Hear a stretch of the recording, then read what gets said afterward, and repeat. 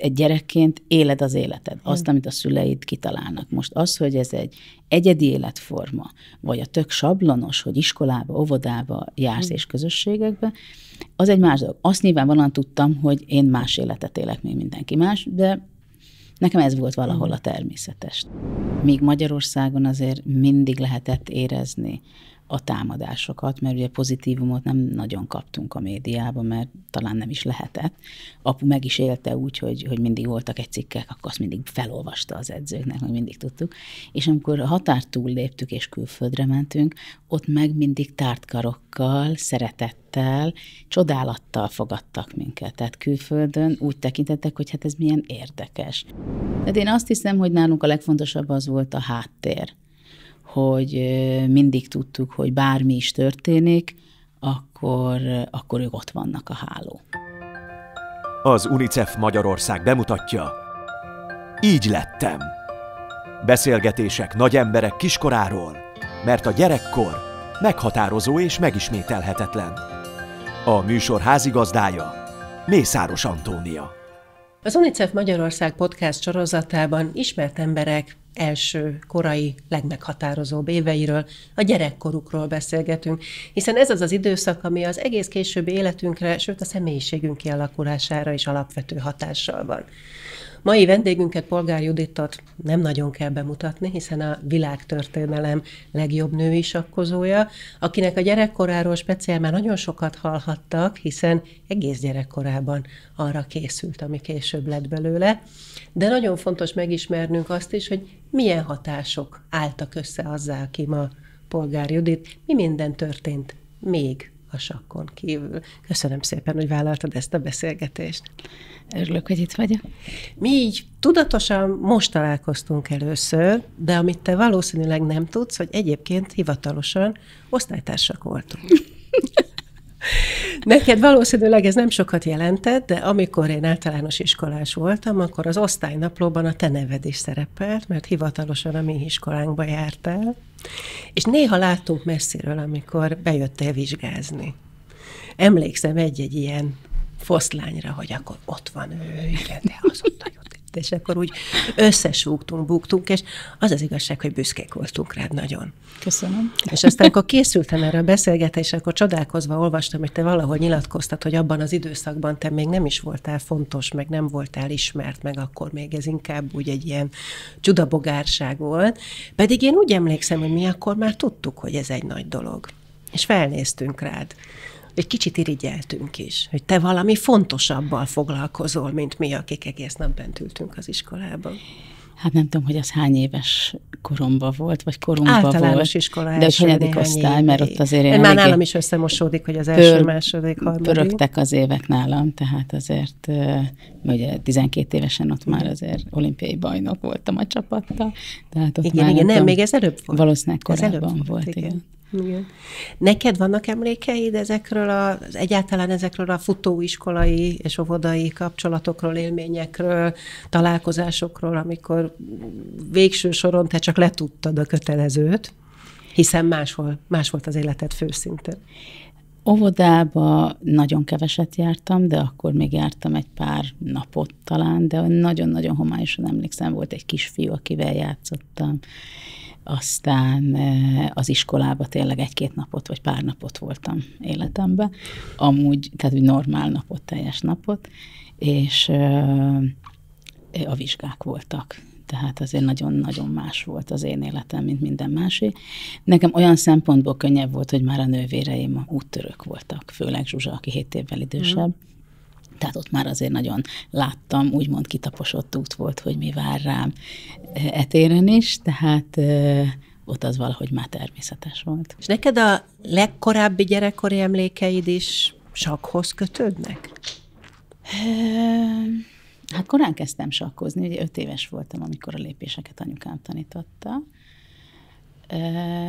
Előtte nem sokra emlékszem, úgy emlékszem még, amikor a első házban, amik, ahol laktunk, de ott csak úsztam, másztam, ott még nem sakkoztam. Szerintem. De hogy majd, ne, majd, hogy nem olyan sorrendben tanultad ezt meg, mint hogyha legalább annyira alapvető lenne, nem? Tehát, hogy abban megtanul enni, kúszni, mászni, járni, sakkozni. Hát nem is sakkal, biztos, hogy már cumis koromban találkoztam, mert cumi helyett az egy nagyon jó kis, a gyalog az kifejezetten úgy, úgy néz ki, tehát ez biztos, hogy számba volt már. Igen, vannak ilyen fotók, majdnem. családi fotók? Nincs, hát azért abban az időben, 76-ban születtem, azért akkor nem volt annyira. Volt fotó, de azért mi elég ne, szerény. Ne öregíts minket. szerény körülmények között éltünk, úgyhogy az nem volt ez egy mindennapi dolog, hogy volt fotózgatás volt. Hogy képzeljük el a szerény körülményeket? Ezt ugye már korábban is nyilatkoztat, hogy a, a ti egész projektetekben ez is egy fontos szempont volt, hogy kitörni valamiből, és hogy ugye a szüleid elég sok áldozatot hoztak azért, hogy veletek ennyit foglalkozhassanak, ami azzal is járt, hogy szűkös körülmények között kellett ezt az egész produkciót, ami a ti hármatok otthon nevelését jelenti, kihozni a szűkös anyagi körülményekből.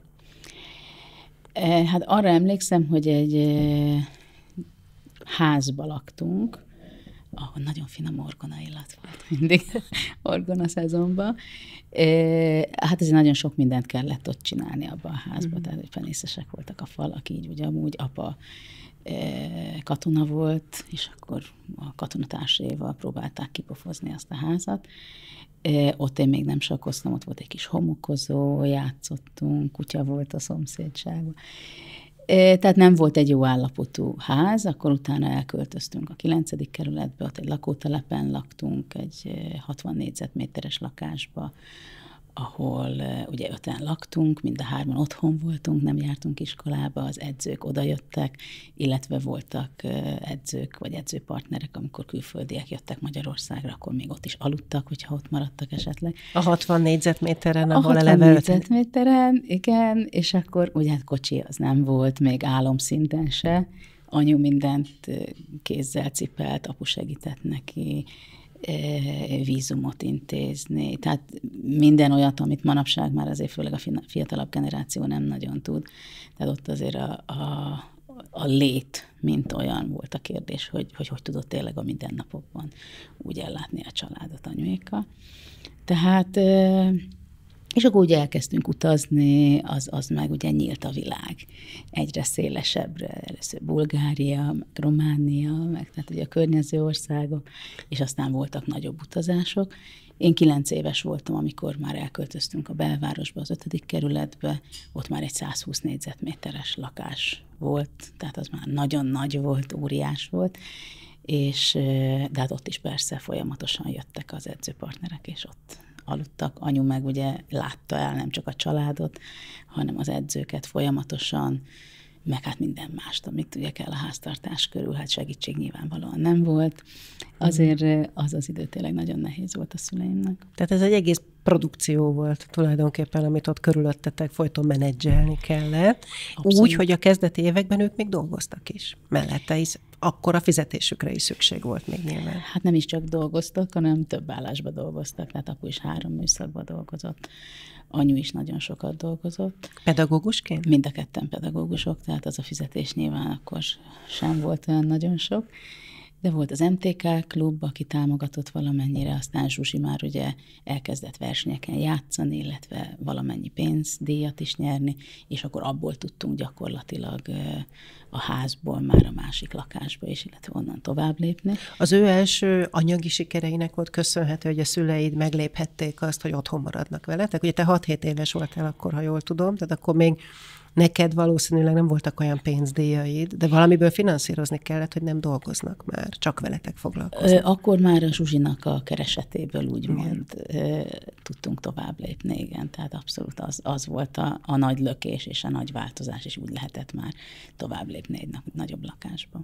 Ahogy beszélsz erről az egész időszakról, ez kicsit úgy hangzik, mint amikor családi vállalkozásokról beszélnek az emberek. Én startup company-nek hívom, hogy az emberek megértsék úgy valamennyire, hogy úgy mir- miről is volt szó. De tényleg, nekem sose jutott az eszembe a te életeddel kapcsolatban korábban, de tényleg olyan startup hangulata van ennek az egésznek. Ezt így is éltétek meg, hogy itt most egy hajóban neveztek, van egy vállalkozás, aminek a sikerére feltettetek mind az öten mindent, és, e- és ezért dolgoztok minden nap közösen.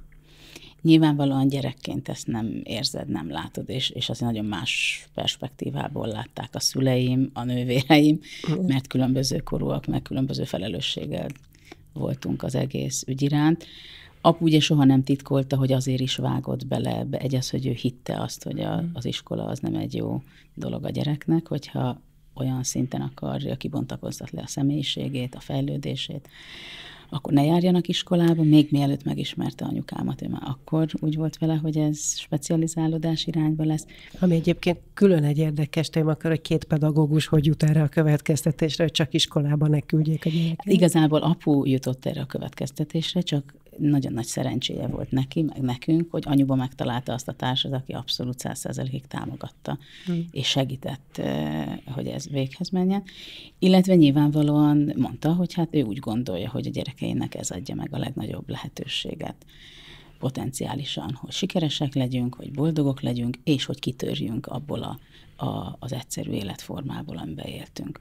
És végül igaza lett, de ehhez nagyon nagy szükség volt arra, hogy tényleg olyan elszánt volt olyan szinten, és annyira fanatikusan hitt ebbe, hogy csak ez az út létezik, hmm. hogy a legnehezebb időszakokat is sikerült átvészelni, és tényleg évtizedeken keresztül végigvinni ezt a gondolkodásmódot. Miből jöttek a nehéz időszakok? A nehézséget miatta? Hát azért abban az időben nem volt olyan egyszerű, hogy mi ne járjunk iskolába. Azért, amikor Zsuzsinál ugye az első lépések megtörténtek, akkor volt olyan pillanat, amikor apuékat el akarták vinni elmegyógyintézetbe, minket árvaházba vagy nevelőintézetbe rakni, tehát azért voltak nagyon necces dolgok. De hogy így egész komolyan, tehát nem egyszer valahol fél mondat erejéig ez szóba került, hanem hogy már tényleg majdnem kopogtattak az ajtón? Hát nagyon nagy harcok voltak, hogy ezt, ezt tényleg lehetséges csinálni valójában, vagy, vagy nem lehet.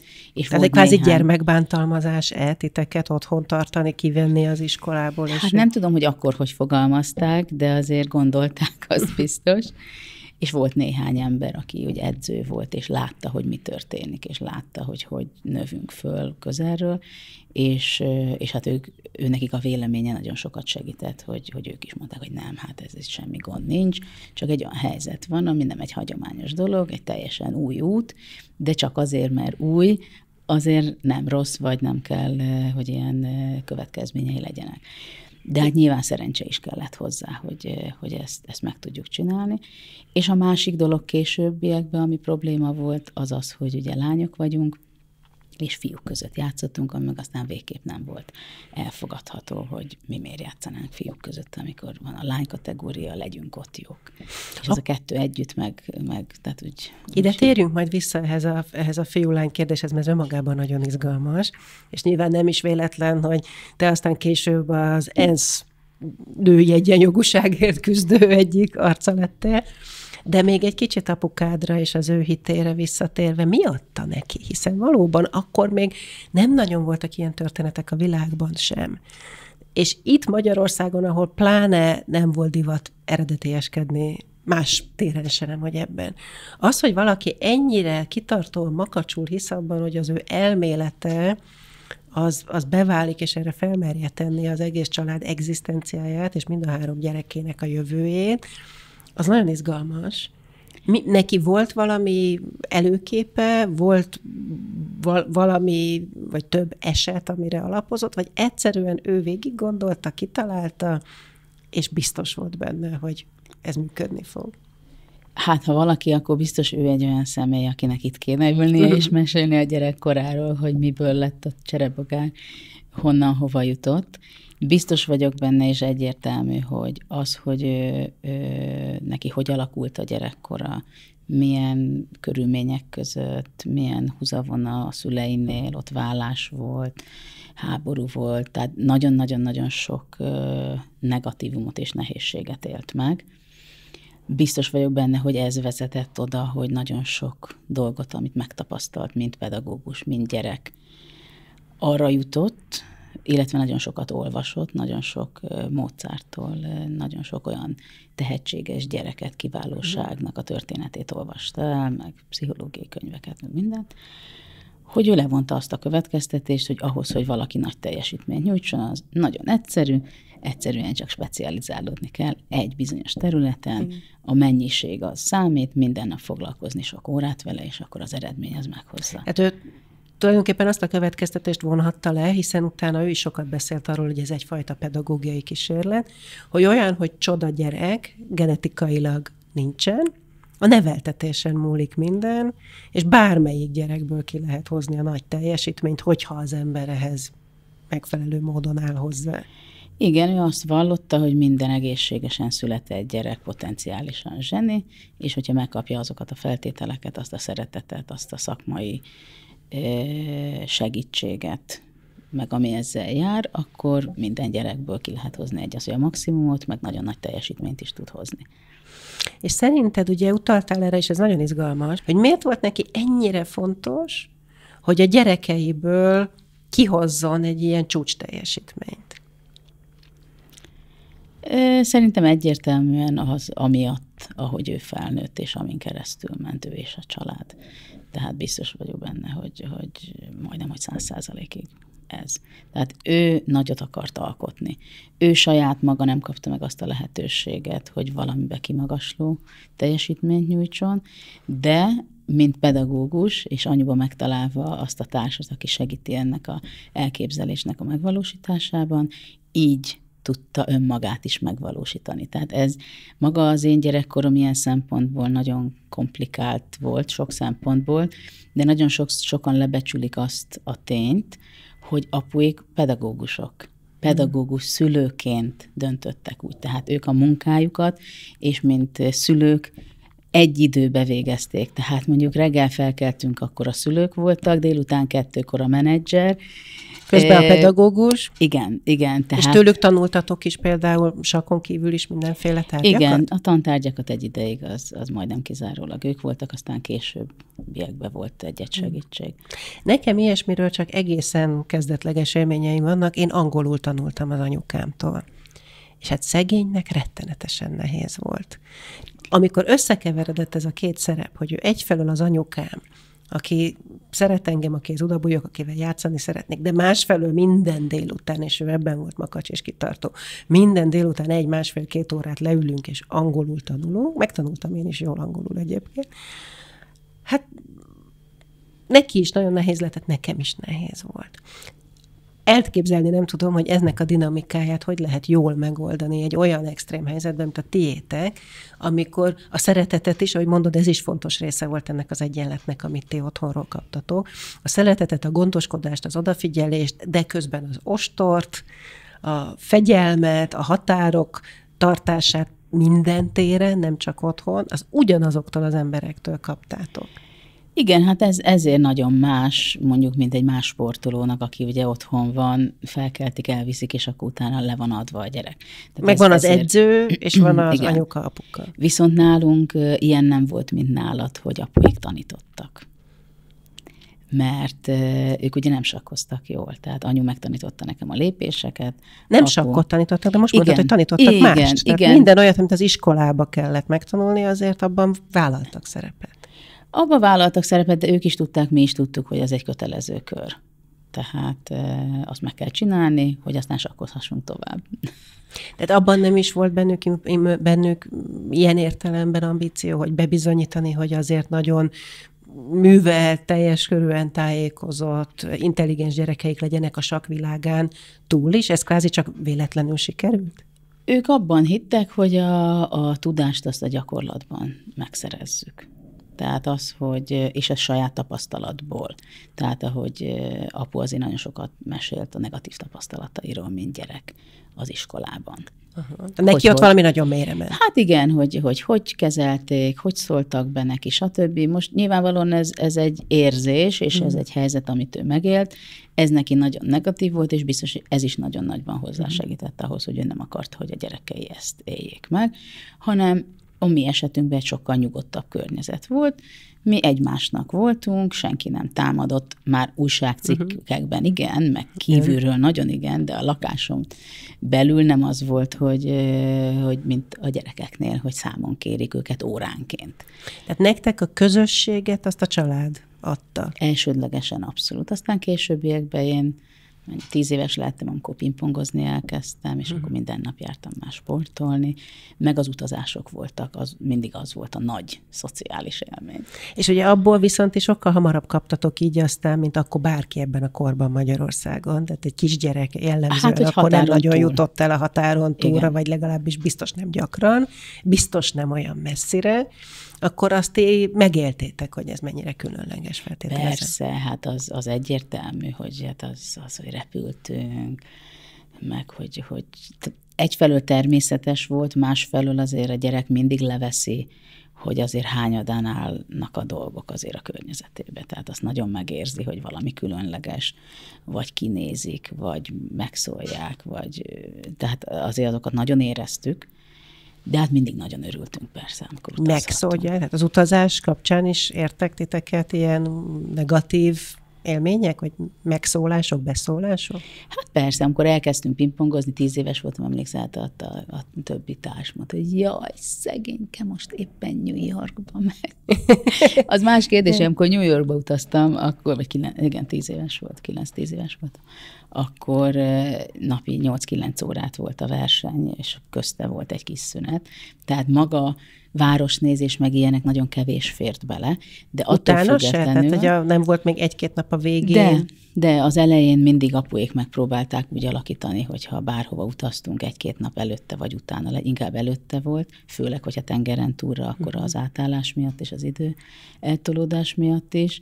De összességében nem azért volt jó utazni, mert volt az a két nap, és az ember megnézhette a látványosságokat, amit a turisták megnézik, hanem egyszerűen a más levegő, másképp néztek a, a színek, az épületek, az emberek, a, hát minden. Tehát amikor 80-as évek mm. közepén, amikor utaztál, akkor úgy, hát ez nagyon más volt. Meg gondolom ez is egyfajta közösség volt, nem? Tehát, hogy ti itt Magyarországon, ugye sokszor mondtad, hogy csodabogárnak is néztetek titeket úgy családilag, összezártatok és éltetek egy kicsit néha talán még ellenséges világban is, vagy így éltétek meg, de amikor kimentetek ezekre a világversenyekre, akkor csupa olyan emberrel találkoztatok, akiknek szintén a sak volt a legfontosabb. Ez is adott egyfajta közösségélményt és, és valahova tartozást? Hát abszolút, abszolút, tehát mindig ugye a sak miatt utaztunk, és az egyértelmű volt, hogy ugye sak közösségbe pottyanunk bele egy versenyen, mondjuk egy nagy nyílt versenyen, több száz ember is játszik. De ami még nagyon fontos volt az utazás miatt, illetve kapcsán, hogy még Magyarországon azért mindig lehetett érezni a támadásokat, mert ugye pozitívumot nem nagyon kaptunk a médiában, mert talán nem is lehetett. Apu meg is élte úgy, hogy, hogy mindig voltak egy cikkek, akkor azt mindig felolvasta az edzőknek, meg mindig tudtuk. És amikor a határt túl léptük és külföldre mentünk, ott meg mindig tártkarokkal, szeretettel, csodálattal fogadtak minket. Tehát külföldön úgy tekintettek, hogy hát ez milyen érdekes, hogy ez, ez, ez hát ez hogy lehet. És, és a pozitív irányból közelítették meg a dolgot. Tehát ez volt a másik, ami miatt nagyon jó volt úgymond határon túlra menni akkor. És amikor itt kaptátok a támadásokat, akkor mivel támadtak? Mi volt a, a visszatérő toposz ebben? Hiszen eredmények már voltak. Hát mindig ugyanaz alapjába véve, hogy a szüleink megnyomorítanak, hogy nincsen gyerekkorunk, mert sakkozunk, csak nem játszunk gyerekekkel, nem szocializálódunk. Mi lesz ebből? És akkor neked erre a kérdésre kellett válaszolni, gyakorlatilag amióta az eszedet tudod, hogy igenis van gyerekkorom? Hát nem tudod azt mondani, hogy van gyerekkorod, mert mit tudsz válaszolni 7 évesen, amikor hát, te sakkozol? de aztán 10, meg 12, meg 15, tehát hogy akkor ezt a visszatérő kérdést te egész életedben meg is kaphattad. Hogy... Ezt mindig megkaptam. És mit mondasz, hogy volt gyerekkorod, vagy valami más volt helyette? E különböző időszakokban különböző dolgokat mondtam, ugye, mert nyilván más tapasztaltam már, nyilván szülőként más mond az ember, mm. mert más lát, hogy a saját gyereke is mi megy keresztül. Amikor uh, kicsi voltam, egyrészt ugye nem beszéltem angolul még, tehát akkor úgy mm. nagyon tudom, ott van egy csomó ember, és kérdezősködik egy sajtótájékoztatón, hát mit mondasz? Hát épp ami eszedbe jut, épp ami Eh, hát te nem tudod. Tehát egy gyerekként éled az életed, azt, amit a szüleid kitalálnak. Most az, hogy ez egy egyedi életforma, vagy a tök sablonos, hogy iskolába, óvodába jársz és közösségekbe, az egy más dolog. Azt nyilvánvalóan tudtam, hogy én más életet élek, mint mindenki más, de Nekem ez volt valahol a természetes, tehát de nyilvánvalóan nehéz volt. Tehát mit 12 éves voltam, 12 és fél az első olimpia után, amikor volt egy szerződésünk, és havi rendszerességgel mentünk ki Németországba, és sajtótájékoztató volt minden alkalommal. És egyik sajtótájékoztató után ugye az olimpiai aranyról beszéltek, erről, arról, amarról, de bizony megint ott voltak a nagyon-nagyon cinikus, negatív, rosszindulatú kérdések, hogy nincs gyerekkorod, mi van. Most mit válaszoljon egy 12 éves gyerek? Nincs gyerekkorom, most nyertem aranyérmet. Tehát, nem, tehát ez egy full zavar, és hát igen, ott mondjuk elment odáig a dolog, hogy hogy a, a, emlékszem ezen a sajtótájékoztató, egyik sajtótájékoztató után a WC-be ott sírva is fakadtam, hogy hát nem igaz, hogy, hogy most ez lesz minden hónapban, hogy akkor itt támadnak. És akkor úgy kitisztítottam magamnak, hogy jó, hát akkor az újságírókat is megfelelően kell kezelni, hátralépni, és elhatároztam, emlékszem, hogy hát az újságíró, aki jó indulatú, az, az azt fog írni, aki rossz indulatú és negatív, az meg rosszat fog írni. És aztán azóta el is határoztam, hogy soha nem is fogom elolvasni az újságcikkeket se, mert mindenki úgyis azt írja, amit az ő személyisége diktál, nem az, amit én mondok, vagy ahogy mondok. Ugye fizikai sportokkal kapcsolatban sokat hallott közhely, hogy egyébként minden fejben dől el, nem csak ugye az izomzat számít, mert is így tovább. Ugye a sakk esetében ez különösen vicces, mert ez nem fejben dől el, hol máshol. De most arra is gondolok, hogy nyilván van a, a, a tudáson kívül egy olyan mentális dimenzió, ami nem csak ahhoz kell, hogy ott abban a pillanatban koncentrálni tudjál, és tíz órán keresztül koncentrálni tudjál, vagy szimultán, hanem ahhoz is, hogy ezt a, ezt a stresszt, nyomást, ezt egyébként a felelősséget, amit a ti esetetekben még az is jelentette, hogy akkor rajtatok múlik, hogy sikerre vigyétek ezt a nagy családi vállalkozást, hogy ezt hogy lehet feldolgozni. Ebben ti kaptatok tudatos segítséget? Erre is volt stratégiája a szüleiteknek? Hát szerintem az nagyon fontos volt, hogy mi hármunknak ott voltunk egymásnak. Tehát, hogy mi mindent meg tudtunk beszélni, mindent megbeszéltünk, kibeszéltünk, átbeszéltünk, mivel állandóan együtt voltunk. Ezért nem volt az, hogy nincs idő nem találkozni. Ráadásul a sakk ugye nem tenisz, vagy úszás, ahol csinálod, mozogsz, és nem mm. tudsz beszélgetni, vagy nem is hallja a másik. Mm. Azért a sakk edzés azért így ülünk, mint ahogy mi itt, csak közte van egy saktábla, mm. és sakkozunk, közben beszélgetünk, tehát ilyen szempontból nagyon más egy sakk edzés, meg egy, egy, egy sakk személyiség, hogy hogy fejlődik, mint egy sport. Ilyen, tehát ez, ez tényleg nagyon-nagyon más. Apuéknak voltak alapelvárásaik, tudom, hogy tehát az volt például, amikor egymással játszottunk versenyeken, akkor mindig döntetleneztünk, kivéve néhány versenyt, ami nem volt annyira fontos, vagy olyan volt hogy kellett. Mert, tehát, hogy előre eldöntöttétek, hogy döntetlenül igen, fogjátok kihozni. Igen, tehát ami elvileg szabálytalan előre megegyezni, de, de voltak ilyen barátok vagy testvérek, és hiába volt Zsuzsi sokkal jobb, akkor is mindig ez, ez így bevált szokás volt, mert hogy anyu mondta, hogy nem, hát ne bántsátok egymást. vagy hogy arra is nagyon figyeltek, hogy ne legyünk nagyképűek, tehát hogyha nyerünk, akkor nehogy elszálljunk magunktól. Tehát voltak, nagyon sokat úgy voltunk ugye együtt, nagyon sokat utaztunk, és tényleg miközben éltünk, közbe tanultuk meg, és igazodtunk ezekhez a, az emberi dolgokhoz, hogy mit, hogy éljünk meg, hogy viszonyuljunk hozzá, milyen emberek legyünk, mi a fontos, mi nem fontos. Persze a sakk az nagyon fontos uh-huh. volt, és mindennél fontosabb volt, de nem olyan mértékig, hogy csaljál, hogy, hogy zavart az ellenfelet, hogy, tehát azért ezek az emberi dolgok azért nagyon-nagyon mélyen tudtak belénk nevelődni, ahogy minden nap együtt voltunk. És mondtad, hogy azért ti nagyon sok szeretetet is kaptatok. Ennek milyen formáit tudod felidézni? És kitől? Ugye nyilván apukától, anyukától, Hát nagyon másfajta, tehát ö, ö, ugye apu volt az, aki egyes, hogy konfrontálódott kifelé, és, és azért ő a temperamentumos. Tehát ő kibeszéli, kimondja, vitatkozik, ha kell, menedzserként fellép, küzd, stb. Tehát ő volt igazából az ilyen keményebb, kívülről ugye abszolút anyu eltörpült gyakorlatilag, mert nagyon sokszor nem is beszéltek róla, mint hogyha nem is létezett volna. ami a karaktere miatt oké okay volt, mert soha nem tartotta ezt fontosnak, a, a realitást és a gyakorlatot tartotta fontosnak, nem azt, hogy most hogy jelenik meg a médiába.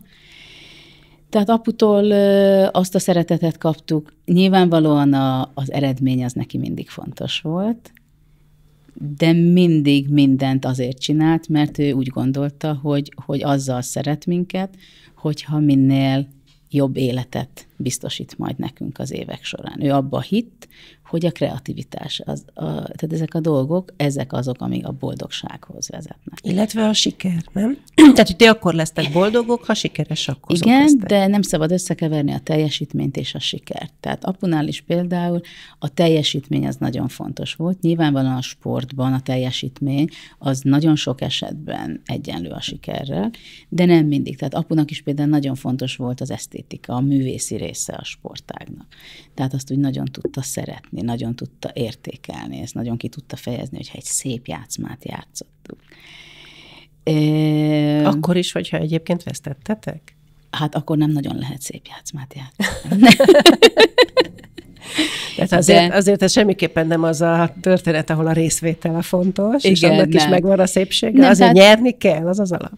Igen, tehát a szeretet az olyan alap dolog volt, de mindig valami történt, tehát csak úgy, úgy lebegni nem lebegtünk. De volt olyan, hogy esperantót tanultunk, énekeltünk, elmentünk kirándulni, meg akarta mutatni nekünk a, a világot, mert ugye neki ez volt a fontos. Tehát ő úgy tudott szeretni, hogy, hogy így cselekvéseken keresztül mutatta meg, és, és a boldogságot akarta megteremteni nekünk. Anyu az volt, aki ugye a abszolút hátteret biztosította, ő volt az, aki úgy, úgy gondoskodó, bármi van, mindig fent van, mindig mindent megcsinál, bármi van, mindig ott van, a legkisebbtől a legnagyobb dologig. A versenyeken ott ült, kitartóan kötögetett hat órán keresztül, és mm. akkor ő ott, ott, ott így nézte. Tehát én azt hiszem, hogy nálunk a legfontosabb az volt a háttér hogy mindig tudtuk, hogy bármi is történik, akkor, akkor ők ott vannak a háló. És, és mivel mindig együtt voltunk nagyon sokáig legalábbis, addig ez így minden egybe folyt. Tehát minden egybe folyt a, a, az esperanto tanulás, az éneklés, az evés, az utazás, a minden gyakorlatilag. Tehát a mi edzéseink is úgy voltak, hogy, hogy nem úgy, mint egy fizikai sportnál, hogy akkor most a 100 méter, most a fizikai, most hogy hívják, hanem az, hogy tanultunk, edzettünk, apa bejött, beszélgetett velünk, vagy edzővel, aztán kiment, aztán ebéd volt, aztán, tehát, hogy így folyamatosan úgy telt a nap, hogy, hogy keményebb és kevésbé keményebb órák, edzések, beszélgetések. Mik voltak a sakkon túli meghatározó élményeid? Kisebb, meg aztán már kamaszkorodban. Hát ezt nehéz megmondani, annyira minden ahhoz kapcsolódik bizonyos szempontból, hogy utazások, utazások azok, az, azok nagyon jók voltak. Tehát az, hogy különböző kultúrákat tudtam elsajátítani, beépíteni a személyiségembe, szerintem nekem ez volt a legfontosabb. Hogy amit persze felnőtt fejjel gondoltam át, mert ugye mindent úgy tudok megélni, hogy sokkal szélesebb látó körrel, látásmóddal nézek. Tehát azért idővel, amikor felnőttem, akkor azért, azért sok minden ráébred az ember, hogy máshol is levegőt vesznek az emberek, boldogságot keresik, a szeretetet, a munkájukban, a megvalósítást, a család a fontos, az élmények a fontosak. Ettől függetlenül mondjuk például én nagyon szerettem Latin Amerikát, Dél-Amerika az nagyon-nagyon én vagyok. Az, az például emlékszem, 92-ben voltam először Argentinában, az, az meghatározó volt. És mivel lehetett neked akkoriban, gyerekkorodban örömet szerezni? Utazással például? Én nagyon tudtam örülni az apróságoknak. Tehát meg nem csak az, hogy az apróságoknak tudtam örülni, hanem szerettem másnak örömet okozni. Én mindig szerettem ilyen kis apróságokat venni. Tehát én, én csináltam olyat, hogy stewardessnek adtam valamit ajándékban, amikor New Yorkból jöttünk, mert aranyos volt. meg a nővéreimnek. Nekem mit lehetett? Hát, hogyha az ápiszból kaptam valamit mondjuk egy jó kis ceruzahegyező, egy négyszínű toll, tehát ilyenek, igen, a papírírószer az volt a gyengém. Hát szereted a csecsebecséket, ezen belül a papírírószer? Szerettem az ilyen miniatűr kicsi dolgokat. És a finomság, olyan finomságokat, ugye a távoli tájaknak egzotikus ízei is vannak. Azok nem annyira. Nem, az, az, az étel az nem annyira, sőt, hát olyan szinten, hogy emlékszem, amikor 9-10 éves lehettem, és egy versenyen voltunk Belgiumban, és hát nagyon nagy csalódás, két nagy csalódásunk is volt, mert karácsonykor, ahol voltunk egy eszperantista családnál, az év egyetlen napján mondták, hogy hát ma különleges lesz az étel. És nem tudom, homár tettek, azt hiszem. Na most nekünk kilenc évesen képzelheted, hogy milyen volt, azt se tudtuk, hogy micsoda, nem, hogy íz hát azt volna. Magyarországon szerintem 40 évesen se sokan tudták akkoriban, Igen, de egy vízi állat, ami büdös is lehet, amikor főzik, meg, meg nem adnak hozzá semmit, csak egy pár zöldet, hogy aztán tényleg élvezni tudja. A másik vacsora, ami szintén úgy megmaradt, amikor már a, a versenynek az záró vacsorája volt, akkor meg kacsát adtak narancsszósszal. És mi meg fel voltunk háborodva a nőre, hogy hát miért kell összekeverni a desszertet a főétel. Úgyhogy mm. voltak ilyen dolgok, de, de később ez meg nagyon hozzátette az életünkhöz. És ma már nagyon szeretsz főzni. Ugye? Főzni is, meg enni is ezeket. Viszont akkor, ha jól értem, akkor a sak világán kívül egy másik ilyen izgalmas dimenzióba is belecsöppentetek az esperantisták közé. Az abszolút meghatározó volt a családnak, mert ugye az abból jött, hogy mivel nagyon szerények voltak a körülmények, viszont versenyekre szerettünk volna menni, még Zsuzsi, amikor tinédzser volt, akkor volt egy ilyen mozgalom az esperantistáknak, hogyha van egy ilyen járlibrónak nevezetű kis könyvecske, aki oda berakja a címét, a kontaktját, az szívesen lát más esperantistákat. És Zsuzsi például a, szüleimmel úgy tudott kimenni Londonba az első ilyen világversenyre, 16 éven aluli versenyre, hogy esperantistáknál lakott, mert hát amúgy nem lett volna pénzük, se pénzük nem mhm. volt, és ha lett volna, akkor se tudtak volna kivinni, annyi pénz volt, mm. napi egy-két dollárjuk, azt hiszem, költőpénznek, és akkor így tudtunk versenyekre menni, illetve barátokra szertenni tehát leleményesnek kellett lenni. Ezek is különleges szüleinek. emberek lehettek, akik akkor ugye az esperantó nyelvet eleve megtanulták, és utána még a közösségi részét is ennyire élték, hogy nemzetközi vendégszeretetet például biztosították. Meg azt hiszem, hogy nagyon megtalálták a hangot a szüleimmel, mert ők nagyon becsületesek, nagyon tisztán kommunikálnak, nagyon vendégszeretők ők is.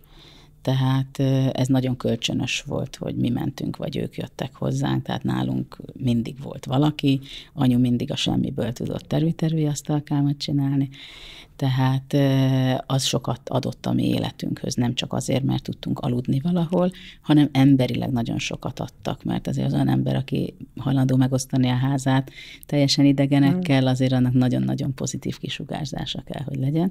És ez, ez is olyan élmény volt, úgymond, ami voltunk esperantista sakversenyen is, persze. Ilyen is van? Persze, persze. És akkor persze. közben esperantóul beszélnek az emberek, igen, miközben igen. sakkoznak? Hát nem a játszma közben, de a játszmák előtt, meg után, meg, igen. tehát maga a közösség, az egy ilyen nagyon erős közösség. Gondolom volt. a mai napig beszélsz akkor. Megmondom őszintén, később megtanultam nagyon jól, azt hiszem talán felső fokon, de mivel nem beszélek már 30 éve, ezért köpni nyelv nem tudok, amikor meg kéne szólalni. Érdekes, hogy amikor annak idején ugye érdeklődéssel pislogtunk az irányodba, amit meséltem az elején, hogy jöttél be vizsgázni a mi tanárainkhoz, akkor a, akkor a sok pozitív érzés és, és enyhe irítség és csodálat és büszkeség stb. között egyetlen egy ilyen szomorkásabbra emlékszem, hogy azt gondoltam, hogy azért ez milyen magányos lehet magántanulónak lenni. És ebben az egy tekintetben egy picit sajnáltalak, hogy azért abból kimaradsz, ami ott az osztályban például egy ilyen közösségben van.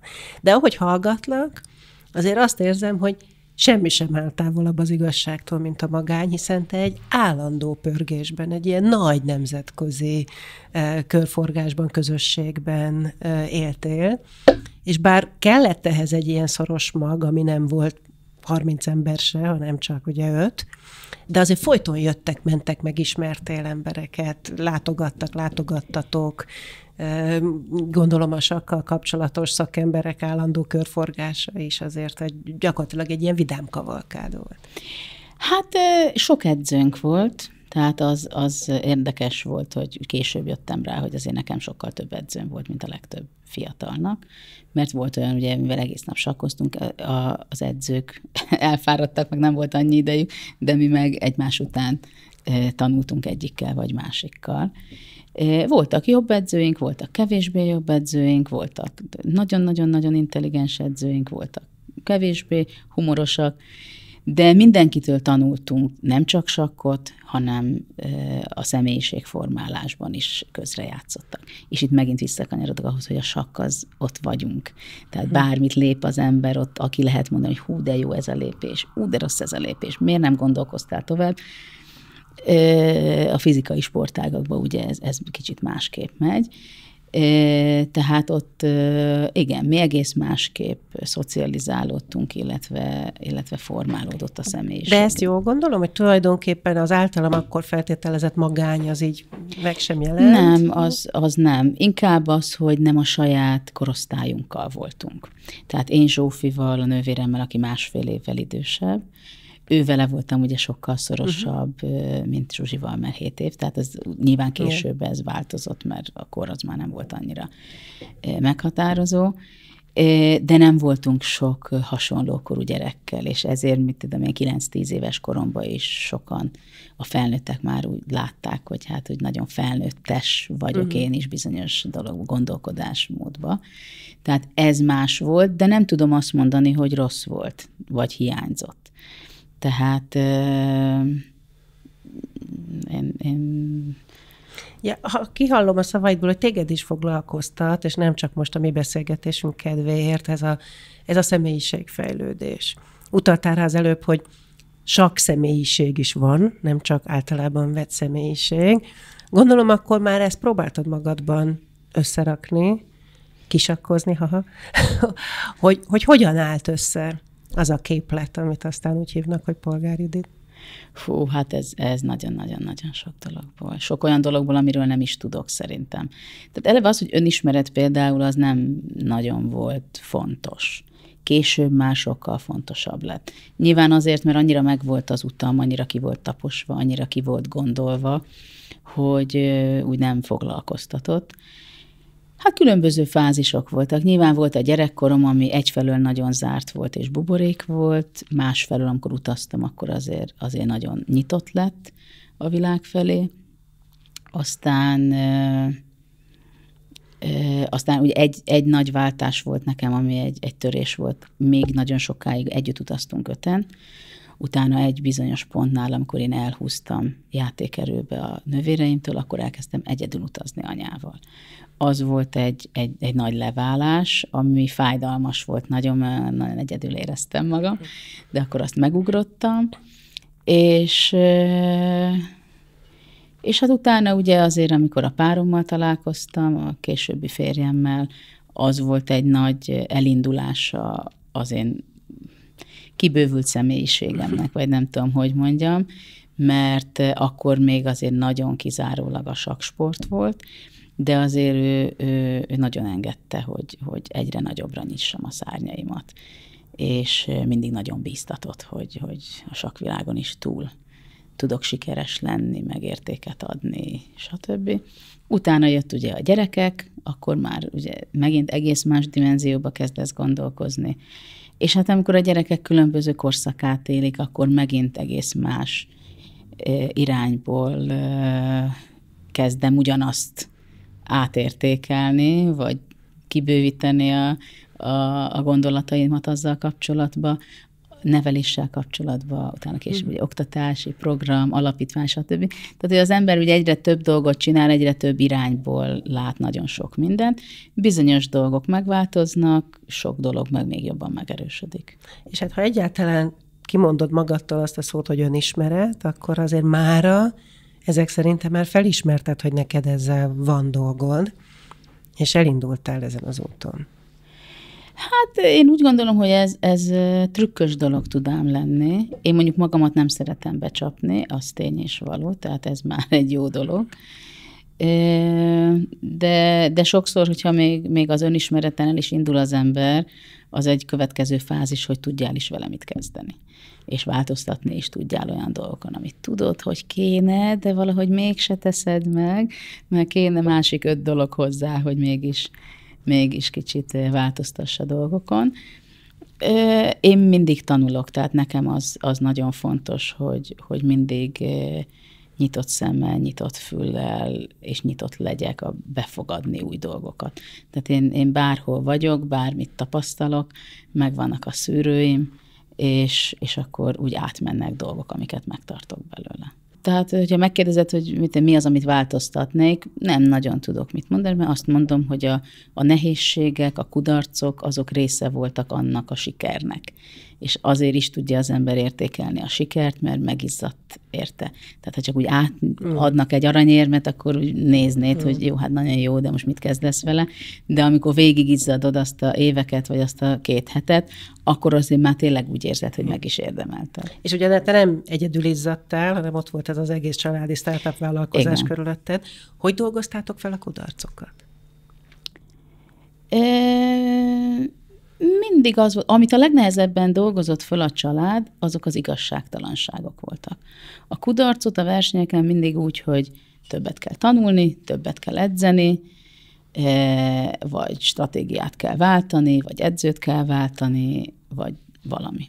Vagy egyszerűen túl erős volt az ellenség, az, az ellenfelek. Hogy fejlődött a te sakszemélyiséged és, és játékerőd a többiekéhez képest. Ugye utaltál is erre az előbb, hogy volt ez a pont, amikor te elhúztál a testvéreid mellett, miközben elvileg, ha most csak a pedagógiai kísérletből indulunk ki, akkor ugyanazt kaptátok mind a hárman, legfeljebb az időzítésben volt különbség, meg hogy ki volt az első és a harmadik a sorban.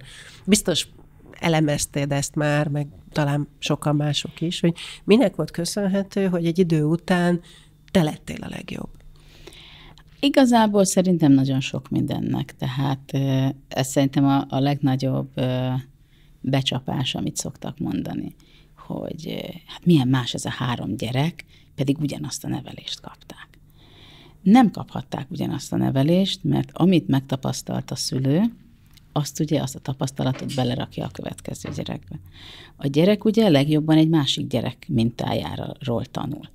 Tehát nyilvánvalóan, amikor én megszülettem, akkor én már nem csak Zsuzsi mintájából tudtam tanulni, Zsófi mintájából, tapasztalatokból, hanem a szülők is nyilván lehiggadtak, eleve anya mindig mondta, hogy hát én úgy nőttem föl, hogy, hogy mindent megtanultam csak úgy, nem kellett velem Igen. foglalkozni.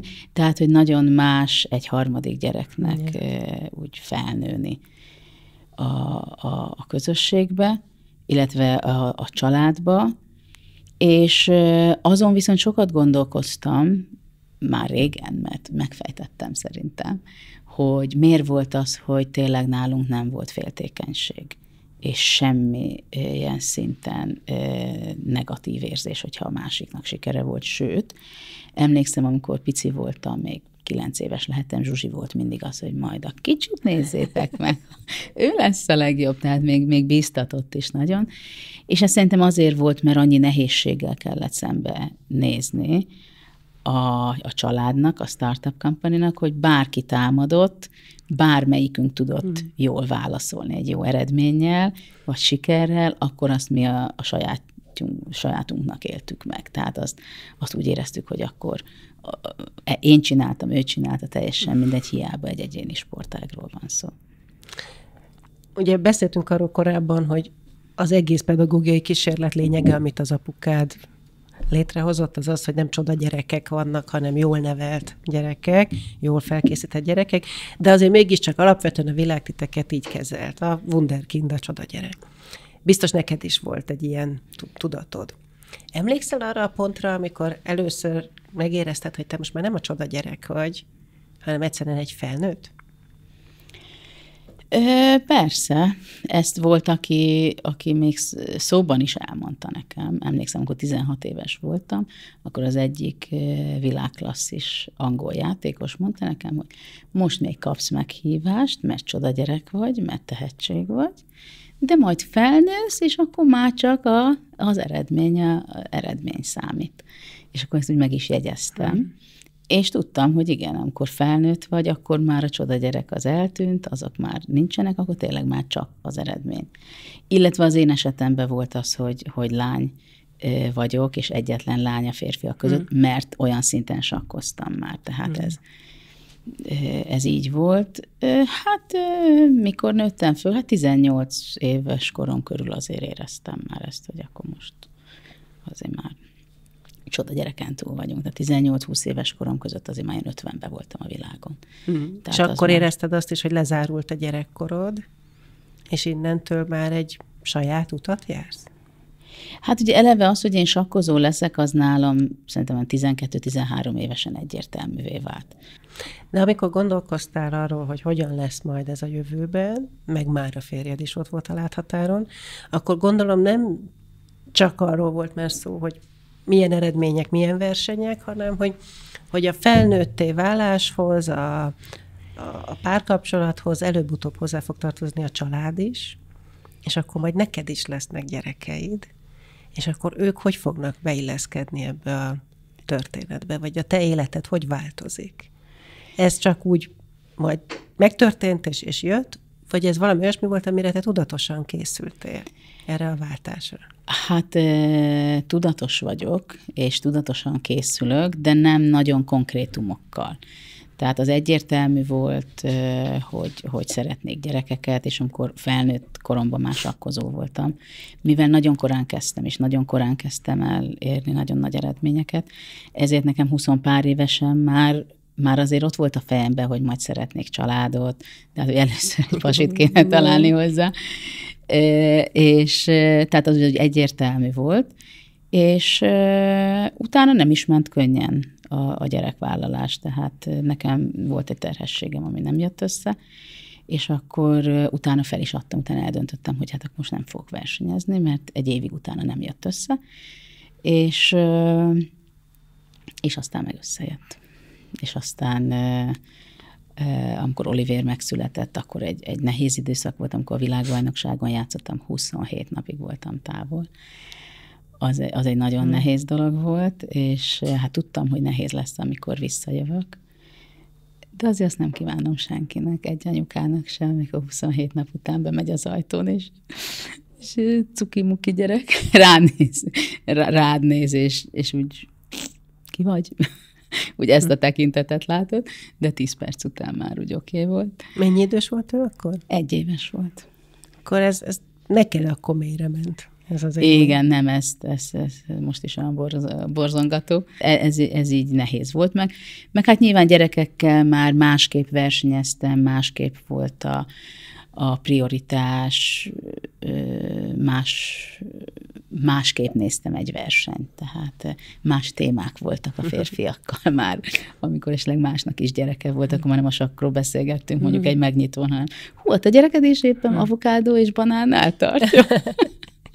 és akkor gondolom átalakult az időbeosztásod is, és már nem annyi teret töltött ki az életedben a sak, hanem hirtelen más típusú programok is a gyerekkel töltött minőségi idő is fontossá. Igen, meg valahogy gyerekkel azért, azért ö, az mondjuk egy érdekes felismerés az embernek, hogy hogy egy az, hogy amikor mielőtt nincs család, családod, hogy úristen, hogy fogsz te mindent belepasszintani a napba, Utána meg valahogy megoldod, ugye? Hmm. Tehát valahogy ez, ezek úgy, úgy működnek, de másképp nézed, igen, másképp csinálod az edzéstervedet, más dolgokat veszel magadra, más a prioritás, nem csinálsz már ügyet dolgokból, sokkal praktikusabbnak kell lenned, sokkal gyakorlatiasabbnak, sokkal jobban tudod értékelni, hogy le tudsz ülni és megreggelizni hm. nyugodtan, hm. vagy az, hogy amikor az első versenyen visszatértem, hogy aludtam éjszaka. Tehát hirtelen más dolgok lesznek fontosak, és a legapróbb dolgokat is más szemmel nézed, és tudod értékelni. És nyilván elkezdtél azon is gondolkodni, hogy akkor te milyen jövőt szánsz a gyerekeidnek. Ha valaki egy olyan családból jön, ahol ezt ilyen hihetetlen tudatos szinten tervezték, akkor nyilván el is várta tőled a közvetlen környezetet, hogy akkor ebben te is nagyon tudatos legyél. Tehát tényleg olyan sokat lehet erről beszélni, hogy akkor mi miért nem neveltük így egyikünk se, se a nővéreim, se én. Nyilvánvalóan nagyon sok minden miatt. Tehát egyszerűen nekem meg volt még a karrierem, a férjemnek ott volt az állatorvoslás, neki az a karriere egész más, honnan kezdett alakulni, ugye máshol tartottunk az életünkben minden szempontból, mentálisan, nem vagyunk pedagógusok, tehát nagyon sok szempontból. Nálunk fontos volt az, hogy utazzanak a gyerekek, fontos volt, hogy lássák a gyerekek, hogy, hogy mit tudom, voltak, picik voltak, még hát pelenkás volt a Hanna, amikor Ekvadorba vittük egy hónapra, mert a dadusunk ekvadori volt. Mm és bizonyot látták, hogy mit tudom én, a piacon a nyolc éves kislány viszi a pici testvérét a hátán. Tehát fontos volt nekünk, hogy úgy utazzunk, hogy lássák az életet, tapasztalják, és egy nyilván pici gyerek nem úgy tapasztalja, hogy nagyon tudatosan, de emlékeznek sok mindenre. Tehát én, nekem az nagyon fontos volt, hogy a gyerekek eh, ne úgy nőjenek föl jó létbe, hogy eh, hogy, hogy minden minden csillivilli, hanem az olyan dolgokat is kerestük, ahol meg tudják tapasztalni a, a nehézebb sorsú gyerekeknek az életét, vagy, vagy látni olyan dolgokat, ami, ami, ami szomorú, lecsúszás, mert része, része az életnek, és nagyon fontosnak tartom, hogy, hogy ezeket lássák, és, és beépüljenek, és hogy tudják, hogy, hogy hogy nézünk egy ilyenre, hogy kezeljük, hogy segítünk, ha tudunk. Tehát az értékrendek azok, azok nagyon-nagyon fontosak voltak. De, de nyilvánvalóan ez egy nagyon nehéz döntés, hogy az ember tényleg magántanulónak adja a gyerekét, vagy sem. Néha már késő átgondolni. Viszont a másik, ami nyilván teljesen függetlenül attól, hogy ti most épp a sakkal foglalkoztatok, meghatározó volt a ti neveltetésetekben, az a fegyelem. Mert ehhez az kellett, amit te csináltatok ezt átörökítetted? Tehát, hogy elvárod a saját gyerekeitől is azt, hogy, hogy nagyon kötelezettségtudók legyenek, kötelességtudók, nagyon fegyelmezettek, ami feladat van, azt el kell végezni, az idő az nem folyhat csak úgy el bohóságokra.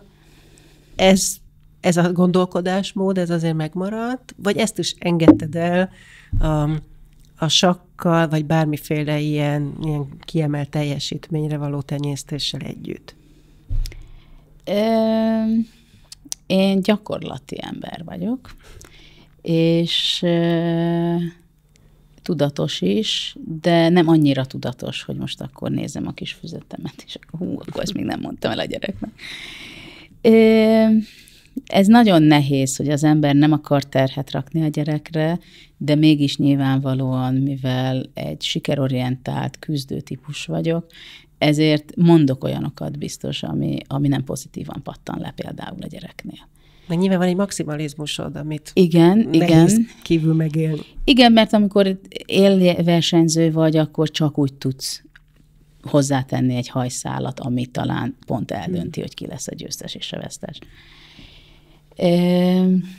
Hát a gyerekeknél a legfontosabb, hogy, hogy tényleg olyan emberek legyenek, hogy, hogy meglegyenek azok a képességeik, hogy jól tudjanak dönteni, hogy jól tudjanak értékelni, hogy tudjanak váltani, hogy önkritikusan tudjanak gondolkozni, hogy ne engedjék magukat, hogy víz alá nyomják. Most legyen ez bármilyen szituáció, vagy hmm. bármilyen időszakban. Hogy merjenek élni, merjenek kilépni komfortzónából. Meg hát rengeteg, rengeteg dolog. Nyilván az, az is fontos volt, hogy igen, hogyha, hogyha valamit el akarnak érni az életbe, azért meg kell küzdeni, és azért, azért tenni kell, nem keveset. Tehát ez biztos, hogy, hogy tényleg nagyon, nagyon mondtuk, mondjuk, érzik. Tehát itt, itt ezen, ezen van talán hangsúly, hogy úgy érzik. Nem örökíted ezek szerint tovább azt a képletet, hogy a boldogság egyenlő a sikerrel és a teljesítménnyel. A boldogság az, az micsoda? A boldogság szerintem alapjában a kiegyensúlyozottság, és, és legjobban akkor kaphatja meg az ember, hogyha egyet, hogy szereti magát és békébe van magával, ami azt jelenti, hogy, hogy a mindennapjait, illetve a munkáját és a társas életet úgy éli, hogy komfortos, és szereti, amiben benne van. Akkor boldog. Nagyon köszönöm a beszélgetést. Köszönöm.